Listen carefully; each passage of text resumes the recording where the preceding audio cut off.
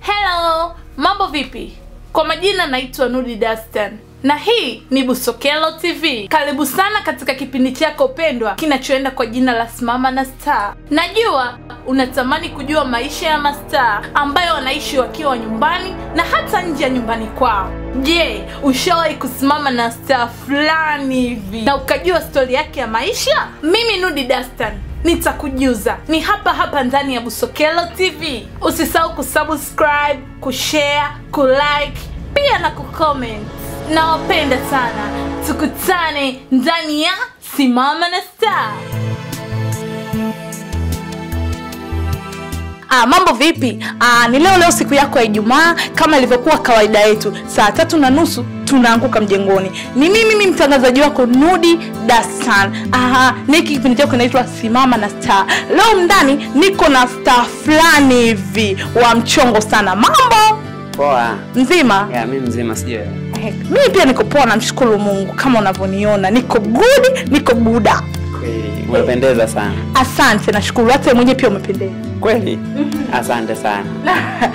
Sawa, jitambulishe kwa majina yako hali. Ah, kwa majina naitwa Lucky Martin Mwenda. Jina langu la sanaa naitwa Kipolo. Kipolo, wewe ni msanii wa aina gani? Ya, mimi ni msanii wa uigizaji. Ah, wewe ni mwigizaji, I mean bongo movie. Anaitwa Kipolo, sio Kipolo cha ubwabwa, hapana. Kipolo jamani, ndio jina lake. Yeye ni bongo movie, ni msanii wa maigizo, si ndio? Yes. Mhm. Ah, naomba nikuulize swali moja Kipolo.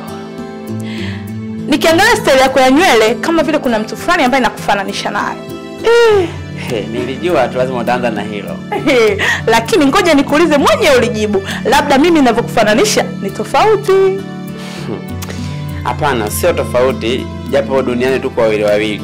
Unaweza ukasema tumefanana afu kumbe tulikuwa hatujafanana. Ni kwa sababu tu hiki kistaili ndio maana unahisi tumefanana. Ila sio mbaya, duniani ni wawili wawili.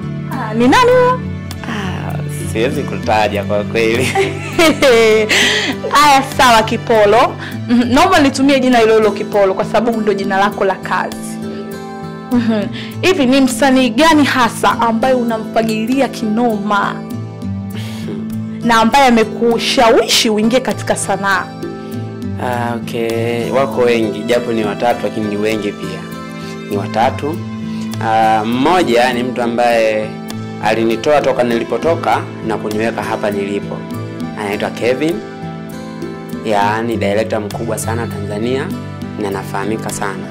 Ah, na wasanii wengine wawili, mmoja ni JB, ya, ni mtu ambaye namkubali sana katika kazi zake. Ah, watatu kwa sasa ni hayati, namaanisha marehemu Kanumba. Ah, rest in peace Kanumba. Aha, naomba nikuulize jambo moja. Wewe kwa JB ni kitu gani hasa ambacho kilichokuvutia mpaka upende? Uh, JB ana uigizaji ule wa kiuhalisia, yaani akiwa kwenye huzuni basi anakuwa kwenye huzuni kweli, then akiwa anafurahisha kitu basi anafurahisha kweli. Kwa hata uko unamwangalia hivi kwenye namna gani, unahisi kabisa kwamba hapa nilipokaa nimekaa naye ndo ananifurahisha, kumbe unamwangalia kwenye TV. Sawa, umeanza sana ukiwa na umri gani? Uh, nimeanza sanaa nikiwa na miaka kumi na moja kwa sababu toka nipo shule mimi sanaa ninaifanya. Yeah, nimeanza kuigiza toka nipo shule. Kwa hiyo kuna, kuna mida kipindi vya uigizaji na nini pia nilikuwa sikosekani. Mimi ndio nilikuwa kiongozi toka shule ya msingi mpaka then nafika sekondari. Ya, mimi ni mwigizaji Kwa hiyo sana umeanza kitambo. eh, muda mrefu sana. Sawa. Hivi wazazi wako walikuwa wanakusapoti katika kazi yako ambayo unaofanya? Uh, kwa bahati mbaya nimelelewa na bibi. Bibi yangu alikuwa akinisapoti, alinisapoti kwa kile ambacho nakipenda mimi, alinishika mkono. Kwa hiyo na ndio maana nikafika hapa. Ah, vipi kuhusu wazazi? Ah, wazazi kikweli walifariki nikiwa mdogo sana. Pole sana. Asante sana. Naomba nikuulize swali fulani hivi. Wewe utaingia uanze sanaa wa kipindi ambacho uko mdogo mpaka sasa hivi ulipofikia. Aha, ni faida gani hasa ambazo umezipata katika sanaa? Je, sanaa imekulipa? Je, sanaa imekukutanisha na mtu ambaye ulikuwa unamkusudia? Ah, kitu ambacho nimekipata kwenye sanaa uh, kile ambacho nilikuwa nimekusudia kwa asilimia hamsini tayari nimekipata. Kwa hiyo hiyo nashukuru, na pia kimenikutanisha na watu ambao nilikuwa ninawapenda, japo mmoja sijakutana naye kwa bahati mbaya, kwa tayari ameshatangulia, lakini hawa wawili tayari nimeshakutana nao, na mmoja ndo mtu ambaye alinitoa kutoka kwenye ile sanaa ya kishule shule mpaka kunileta kwenye sanaa hii, japo yote ni uigizaji, lakini kipindi kile nilikuwa sina elimu yoyote kwamba kuna njia hii na njia hii na njia hii, lakini kwa sasa ndo nimeletwa sasa kwenye njia ya kisanaa kabisa Bwana Kipolo anasema kwamba sanaa yake imemkutanisha na watu walikopo hana hamu ya kukutana nao, kwa bahati amekutana nao. Sawa, tangia uanze kuigiza mpaka sasa hivi ambapo ulipofikia, ni changamoto zipi hasa ambazo umekutana nazo? Kwenye upande wa changamoto kiukweli zipo nyingi sana, ila changamoto ambayo nimezipitia zaidi kubwa za misingi kwangu mimi um, wasanii chipkizi au underground ah, ni watu ambao tunatengwa sana. Ninavyoongelea kutengwa ni kwamba tuna nafasi nzuri ya kufanya kitu kizuri, lakini ili ufikie malengo kufanya kitu kizuri ni mpaka mtu yule ambaye anafanyaje anakujua.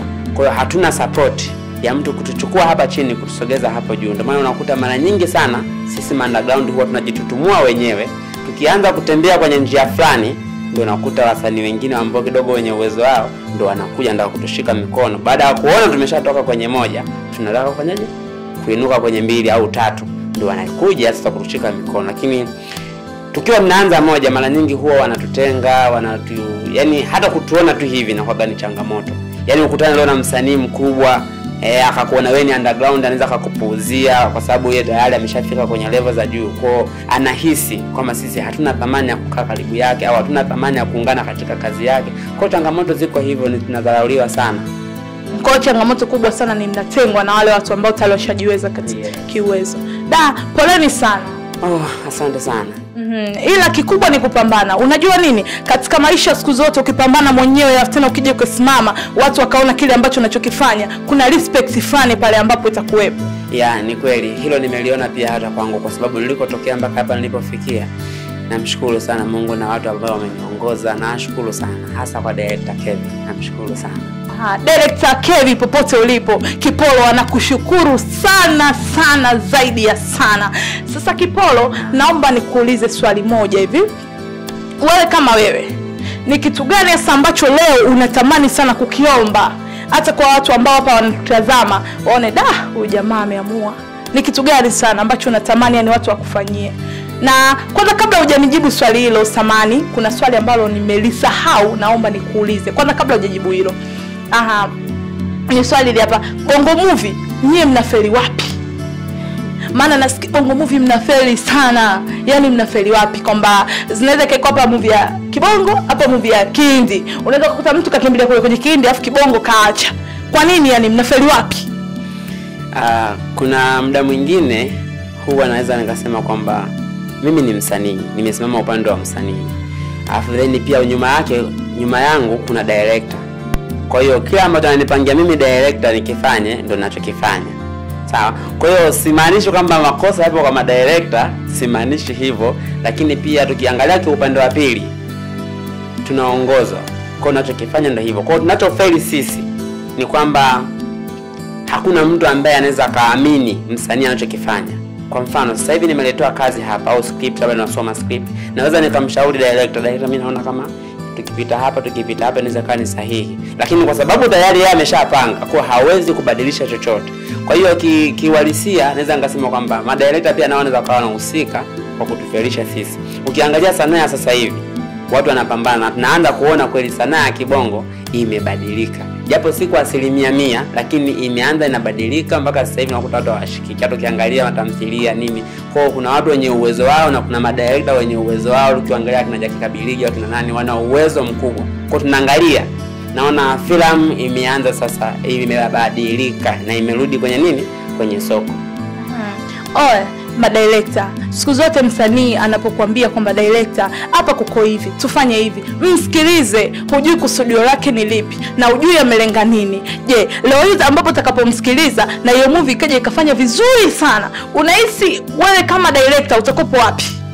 Utakopo wapi? Alafu tena mtu ambaye alikusaidia tu utamweka nyuma kwa sababu tayari umeshafanikiwa. Unasahau kwamba yeye ndo mtu ambaye alikugaia ombi. Madirekta tubadilike. Okay twende swali langu la mwisho lile ambalo nilikuuliza kwamba unaomba nini? Yaani unataka mtu hapa ambaye anatuangalia unaomba wafanye kitu gani? Au wakufanyie kitu gani?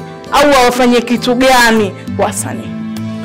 Ah, kwanza nashukuru kupata hiyo nafasi, ila nachokiomba mimi ni kutusapoti tu katika kazi zetu, na mpaka sasa hivi tuna kazi kama kumi hivi, na sio muda mrefu tunakwenda kuziachia, maana bado hazijaingia sokoni. Hizo tulikuwa tunaandaa tu mzigo wa kutosha ili tuweze kupeleka sokoni.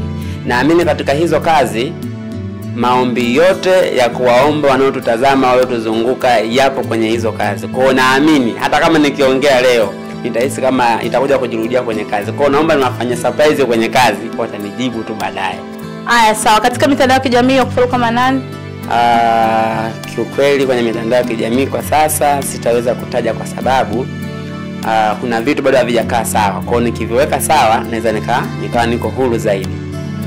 bwana ni mimi mtangazaji wako nudi dastan. Leo nikopo katika kipindi chako kinachoitwa simama na star. Leo nikopo na star bongo movie ambaye anafahamika kama kipolo. Ah, tukutane tena siku ya ijumaa kama ya leo saa tatu na nusu. Bye bye tunawapenda sana